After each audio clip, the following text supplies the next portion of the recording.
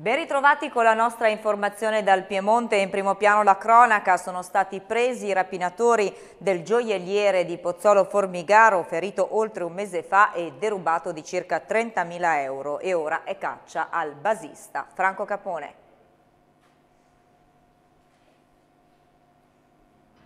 L'orapo di Pozzolo Formigaro, aggredito brutalmente e rapinato lo scorso 6 di dicembre, non appena ha saputo che i carabinieri avevano arrestato gli autori materiali del colpo ai danni della sua gioielleria, ha tirato un lungo sospiro di sollievo. La cattura dei banditi è stata resa nota dal colonnello Enrico Scandone, comandante provinciale dei Carabinieri, nel corso di una conferenza stampa dove, fra l'altro, ha commentato le terribili immagini registrate durante la rapina avvenuta proprio ai danni della gioielleria CM di Pozzolo Formigaro in provincia di Alessandria.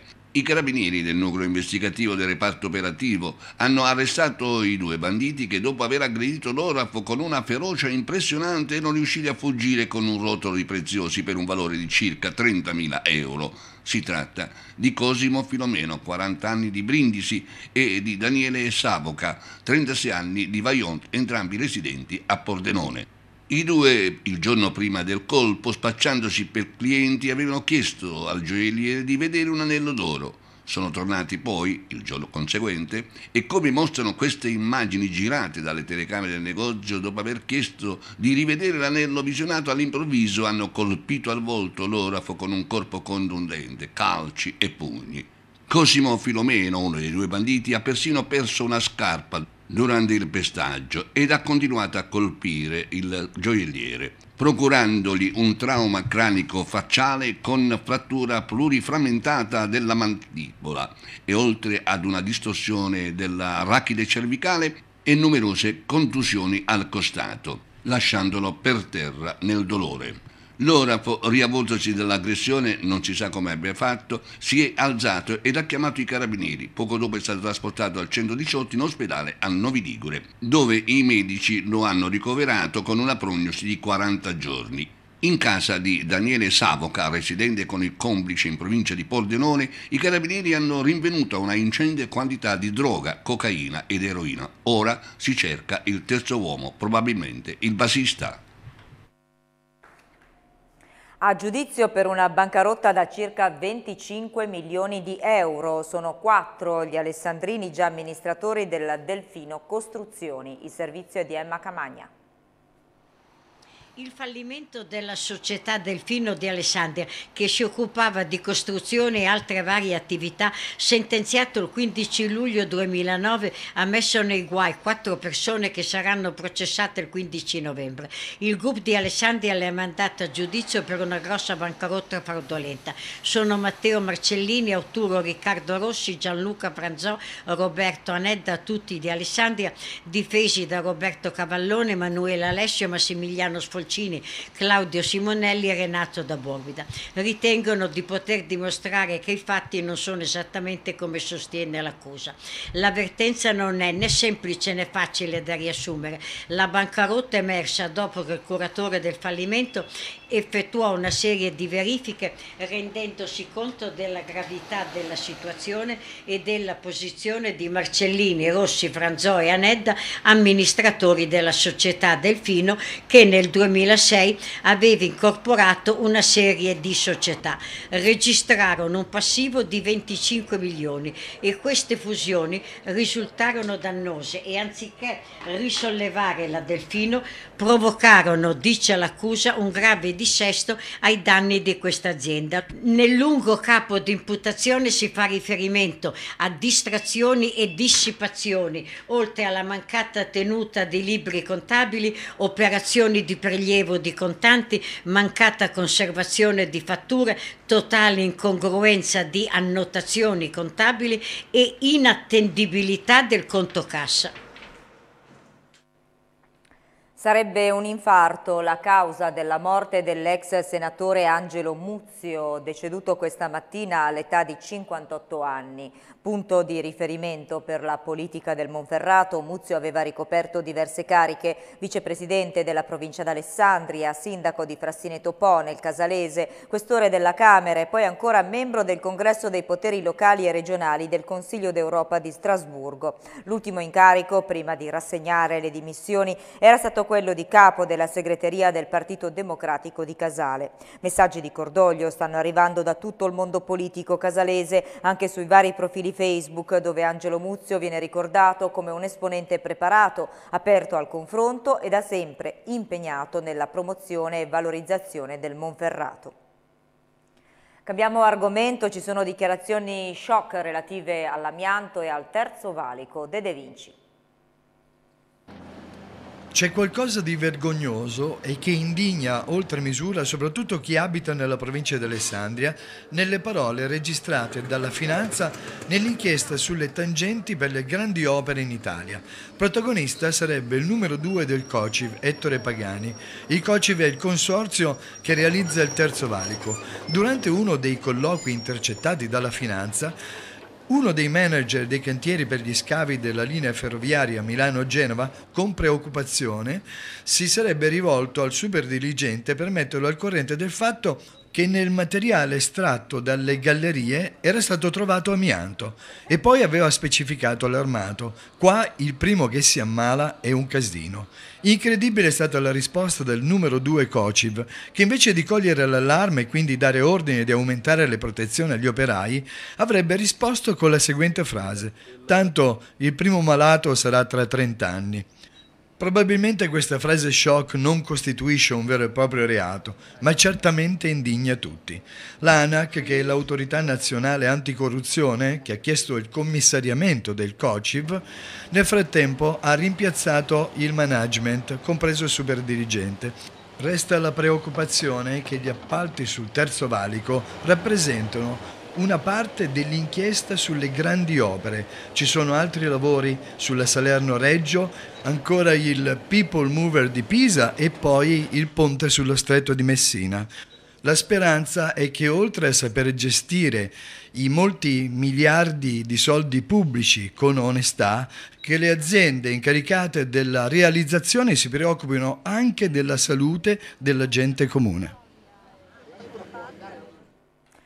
L'amministrazione comunale di Tortona dice no alla comunicazione di poste italiane che ha fatto sapere che da febbraio anche sul territorio comunale tortonese verrà sperimentato il sistema del recapito della corrispondenza a giorni alterni. Secondo gli amministratori dell'ex caserma Passalacqua che hanno scritto ai responsabili di poste italiane la decisione non ha senso. È stata chiesta la sospensione del provvedimento e un incontro urgente per approfondire le motivazioni di questa scelta. Non è assolutamente accettabile, infatti, si legge in una nota, che un comune centrozona quale Tortona, con popolazione di oltre 26.000 abitanti, venga equiparato in termini di servizi e di esigenze ad enti di dimensioni decisamente inferiori e con caratteristiche economico-produttive assolutamente non paragonabili. E ora diamo la linea alla redazione di Torino, c'è Roberto Monteriso. Un saluto a tutti i telespettatori, in evidenza ci sono i trasporti perché una vera e propria stangata, quella arrivata sui pendolari della Torino-Milano che viaggiano sul Frecciarossa, un aumento degli abbonamenti del 35%, i dettagli. Una brutta sorpresa arrivata a tutta velocità, è proprio il caso di dirlo, per i pendolari della Torino-Milano non sarà un inizio di 2017 col sorriso, perché è arrivato un salasso sull'abbonamento con il Frecciarossa. Scattano infatti gli aumenti fino al 35%, anche se per alcune fasce orarie, le meno praticabili, si pagherà meno. Secondo il Comitato dei Pendolari si tratta di una vera e propria stangata. Sono tante le persone che ogni giorno viaggiano sulla tratta Torino-Milano con i Frecciarossa e Trenitalia ha comunicato che l'abbonamento mensile continuerà ad esistere e che sarà possibile sceglierne quattro diverse tipologie. Così il Comitato dei Pendolari ad alta velocità hanno scoperto anche i nuovi prezzi, appena scattati, che prevedono aumenti fino al 35%. Due delle quattro tariffe non hanno limiti orari. Una consente di viaggiare dal lunedì al venerdì a 408 euro, cioè 68 in più di prima l'altra dal lunedì a domenica a 459 euro per un rincaro di 119 euro. Gli altri due tipi di tessera hanno invece delle limitazioni. Permettono, cioè di usare Frecciarossa solo tra le 9 e le 17 e dunque fuori dagli orari di punta e costano 323 euro da lunedì a domenica, meno 17 euro rispetto a prima, e 289 euro da lunedì a venerdì, 51 euro in meno. Sul piede di guerra il comitato dei pendolari che viaggiano su quella tratta. Finora l'abbonamento costava 340 euro senza alcuna limitazione e il suo prezzo era già lievitato a giugno 2015 dai 295 euro precedenti. Inoltre, quando si prenoterà il treno, il sistema informatico di Trenitalia non permetterà ai pendolari di scegliere convogli che partono al di fuori degli orari previsti dal loro abbonamento. E restiamo in tema perché sono arrivate anche le prime reazioni politiche agli aumenti dei prezzi dei treni Frecciarossa. Sapevamo solo che avrebbero diversificato gli abbonamenti, differenziando tra i 5 e i 7 giorni, ma non eravamo certo stati avvisati di questi aumenti spropositati. Evidentemente l'obiettivo è quello di disincentivare i pendolari. Lo affermano il presidente della Regione Piemonte Sergio Chiamparino e l'assessore ai trasporti Francesco Balocco, annunciando l'intenzione di chiedere la sospensione sospensione degli aumenti degli abbonamenti per i pendolari della Torino-Milano. La solidarietà, perché è attiva dal 18 al 31 gennaio la campagna SMS Mangia che diventi grande, che Elevia promuove con testimonial Gianluigi Buffon per aiutare le mamme del Burkina Faso a far crescere i propri bambini. Al numero solidale 45523, a cui sarà possibile inviare sms o effettuare chiamate da rete fissa per donare 2 oppure 5 euro. Andiamo a scoprire tutto. Mangia che diventi grande è il primo pensiero di tutte le mamme del mondo per i loro bimbi fin dai primi giorni di vita. L'Associazione di Solidarietà e Cooperazione Internazionale Ellevia promuove una campagna di raccolta fondi con l'obiettivo di curare i bambini malnutriti in Burkina Faso e aiutare le loro mamme a farli crescere in salute. La malnutrizione in Burkina Faso colpisce ancora oggi quasi 500.000 bambini prima dei 5 anni di età L'impegno di Ellevia dal 2012 ad oggi nella regione del Burkina ha permesso di curare quasi 50.000 bambini affetti da malnutrizione acuta severa. La situazione sta migliorando molto rispetto a cinque anni fa. Importanti risultati sono stati raggiunti, ma la lotta alla malnutrizione infantile non finisce mai. E così Gianluigi Buffon, portiere e capitano della nazionale italiana di calcio e della Juventus, ha deciso di sostenere la campagna con uno spot. Sono Gigi Buffon, sono un papà anch'io e vorrei che tutti i bimbi avessero la possibilità di diventare grandi. In Burkina Faso la malnutrizione infantile crea danni permanenti nella crescita e in molti casi anche la morte. Ho deciso di sostenere LVA, che da anni lavora per salvare la vita a migliaia di bambini. Chiama o manda un sms al 45523 e sostieni la campagna Mangia che diventi grande. Bene, per il momento possiamo tornare da Alessandra Della Ca. E dopo l'unione dei distretti sanitari di Ovada ed Acqui, i sindaci ora possono avanzare richieste e proposte. Ce ne parla Fabrizio Mattala. Rivoluzione in ambito sanitario nell'Ovadese e nell'Acquese, dopo la fusione dei distretti decisa dalla revisione dei servizi a livello regionale, un maxi distretto di 47 comuni, 70.000 abitanti, con i sindaci che si confronteranno direttamente con la SL, nuove regole che saranno uniformate fra Acqui e Ovada. Il presidente del comitato, che ad Ovada era quello del centro-zona, sarà ora eletto o nominato in caso di intesa tra i comuni, così come il suo vice. L'organo esecutivo sarà poi costituito da 3 a 7 membri, non necessariamente sindaci, e in fase di votazione di provvedimenti o delibere peseranno le preferenze dei comuni secondo il numero dei consiglieri presenti nelle varie amministrazioni, ovvero 17 per Acquiovada e 11 per i comuni minori. Un primo atto condiviso è la richiesta alla SL di 30 letti per la continuità assistenziale, che dovrebbero essere smistati fra l'IPA Bellercaro di Ovada e altre residenze sanitarie fra Acquiterme e Rivalta Bormida.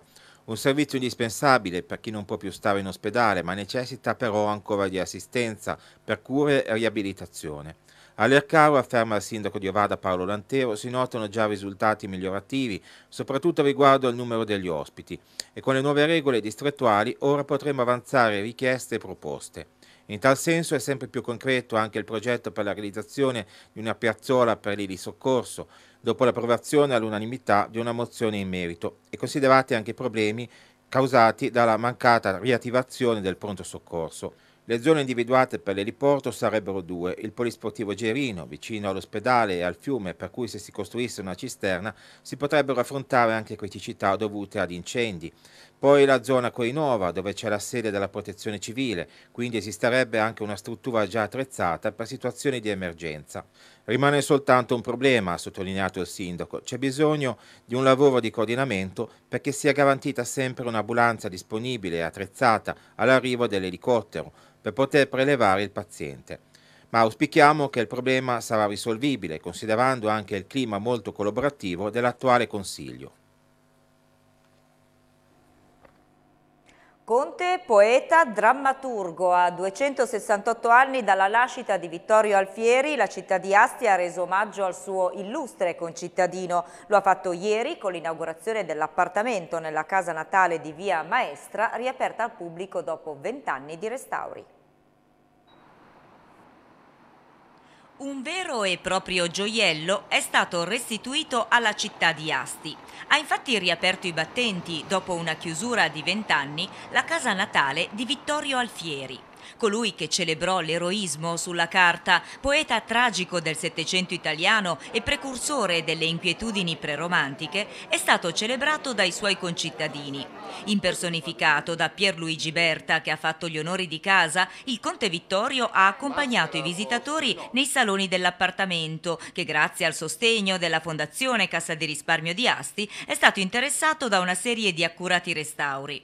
Il sindaco Fabrizio Brignolo ha dato il via alla cerimonia cerimonia, mentre l'architetto Roberto Nivolo ha progettato gli interventi ammirati da una gran folla di persone desiderose di camminare nei rinnovati spazi di proprietà dell'amministrazione comunale. La Fondazione Centro Studi Alfieriani è invece responsabile del contenuto, il museo e gli arredi, la biblioteca e l'archivio di documenti.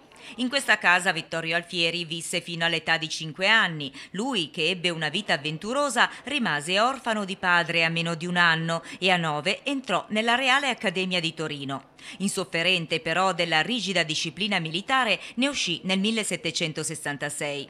Desideroso di conquistare la gloria attraverso il genere tragico, lo ribadì più volte nella sua autobiografia intitolata La vita scritto da esso. Ed oggi, con la restituzione alla comunità di questo pezzo di storia alfieriana, va ad essere ulteriormente nobilitato il polo museale dedicato a questo letterato di fama.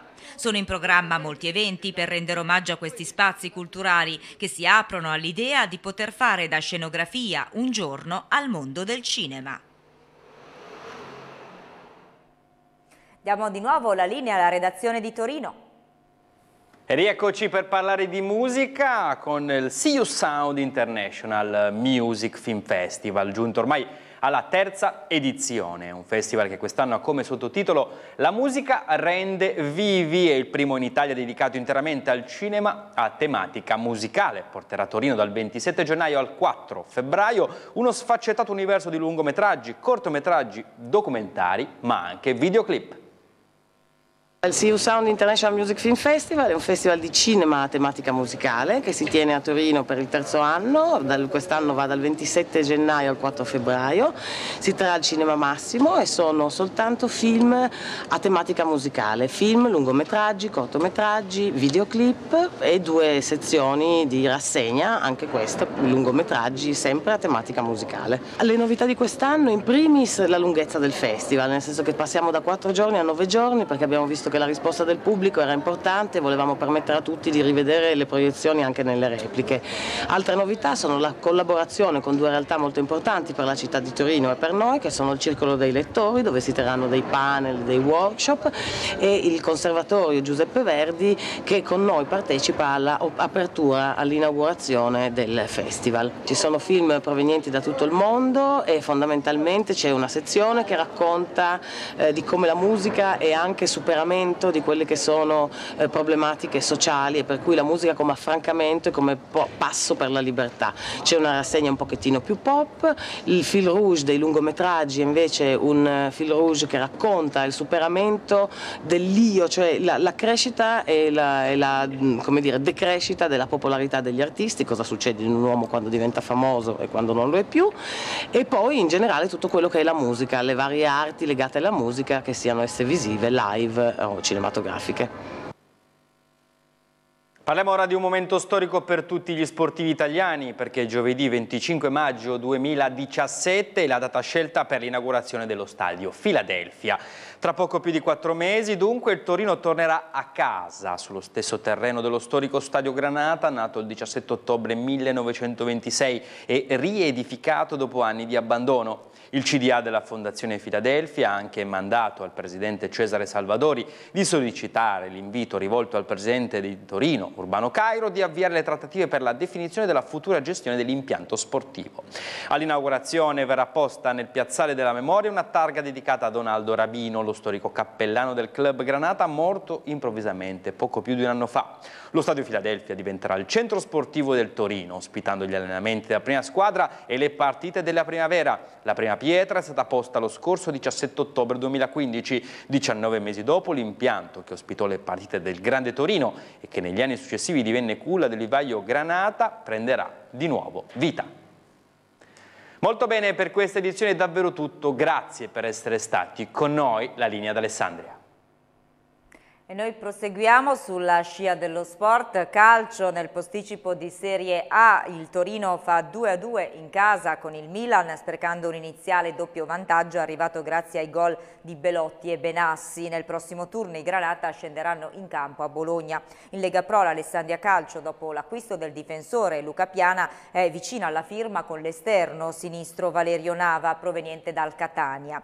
Eh, questa sera ancora alle 21 non perdete l'appuntamento con Grigi nel Cuore su Telesiti 1, ospite in studio Luca Di Masi, presidente della società. Tra poco la pagina sportiva, come annunciato, e poi le notizie utili. Grazie per averci seguito, arrivederci alle prossime edizioni.